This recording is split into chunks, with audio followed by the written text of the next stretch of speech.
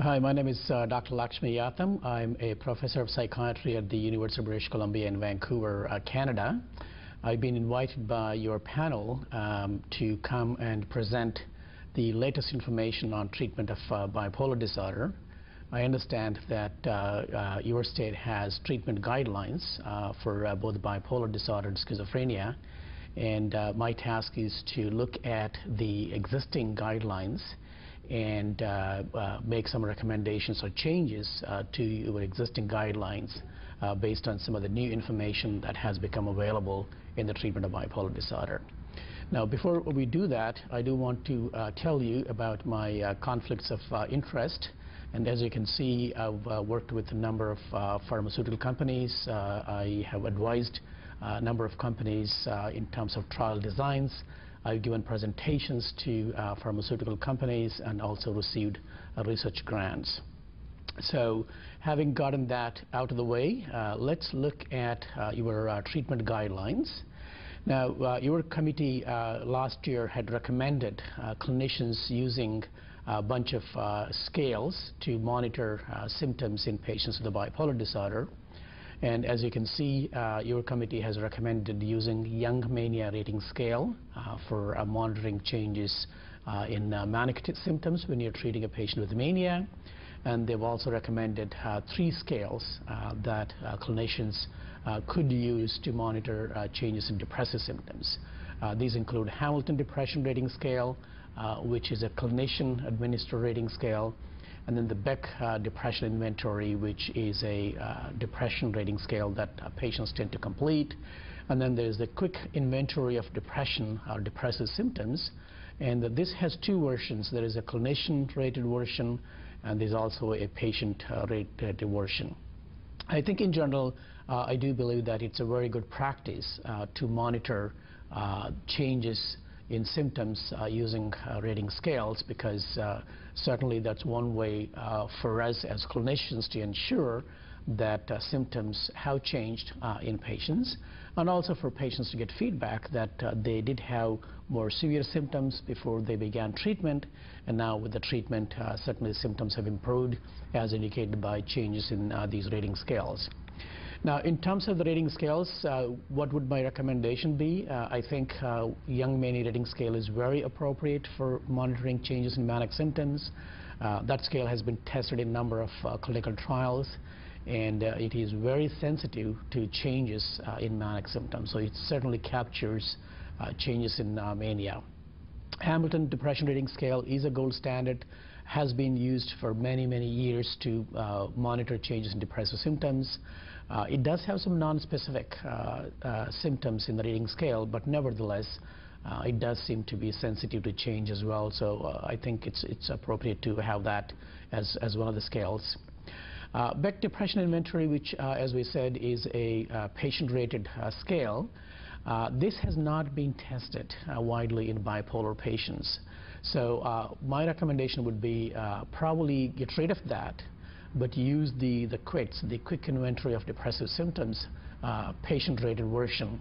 Uh, if you need uh, something that you want patients to use uh, to track uh, uh, the changes in the depressive symptoms. Uh, in addition, I would also suggest uh, uh, using a Montgomery-Åsberg Depression Rating Scale, MADRS, which is used, which has been used widely in the clinical trials of bipolar depressed patients. So overall, I think in terms of the changes that I would recommend for the rating scales are drop the Beck and add the MADRS. Now let's move on to uh, treatment of uh, various phases of bipolar disorder, and here is uh, uh, the recommendation uh, from the committee last year on uh, the management of uh, uh, patients with acute mania.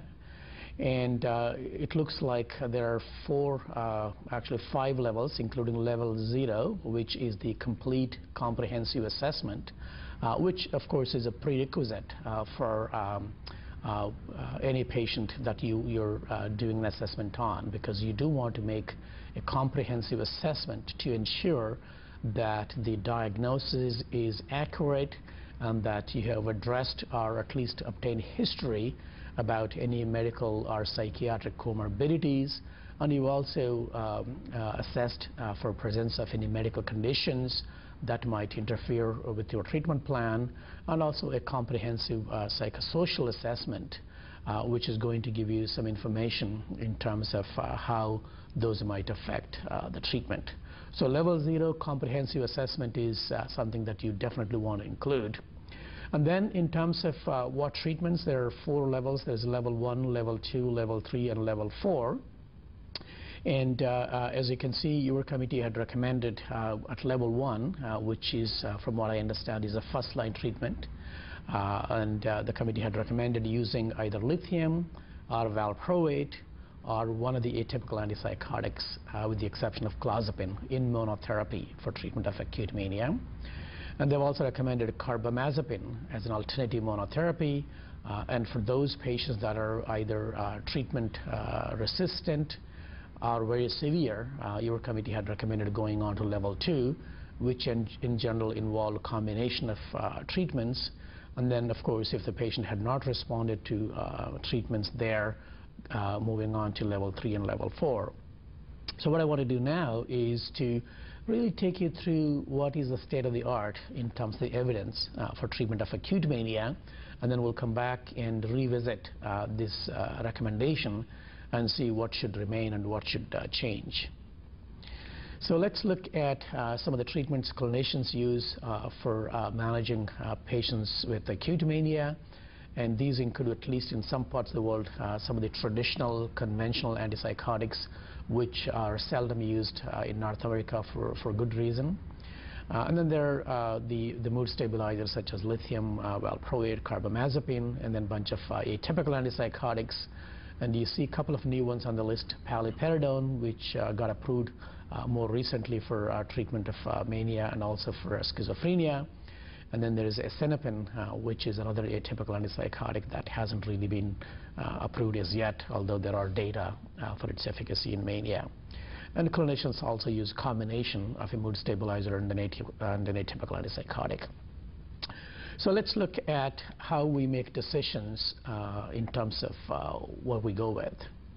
Now, given that we have so many treatment uh, options for um, managing a patient with acute mania, I think the decision uh, as to which of those uh, should be first-line treatments uh, would have to be based on, I think, uh, three uh, factors. Uh, the first one is efficacy. How well does a given medication work? And does it work better than something else that's out there? And the second thing is, what about the speed of onset of action?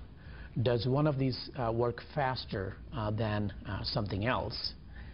And uh, thirdly, uh, you might also want to think about uh, adverse events, uh, which uh, obviously you're all uh, very familiar with. And so I will not go into the details of adverse events. And obviously you have heard about some of those things yesterday as well. So we're going to predominantly look at the efficacy issue and the onset of action issue to try and figure out whether some of these medicines fare similarly or are they different on these uh, two measures? Now, efficacy uh, of these medications is assessed in clinical trials, uh, typically using a double-blind uh, placebo-controlled design. And most of these trials uh, last for about 21 days. And uh, what they do in these trials is that they quantify the severity of manic symptoms using a rating scale called the Young Mania Rating Scale.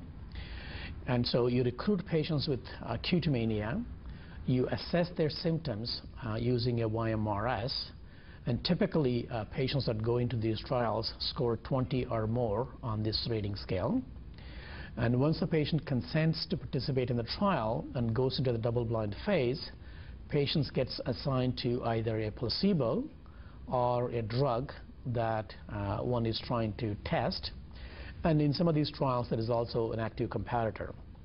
So in this trial, the asenapine trial, if you look at it, there were three arms. Uh, some patients got placebo, some got asenapine, and some got olanzapine. And what you're seeing on this slide are how the manic symptoms changed over the three-week period in each of those groups. And as you can see, the improvement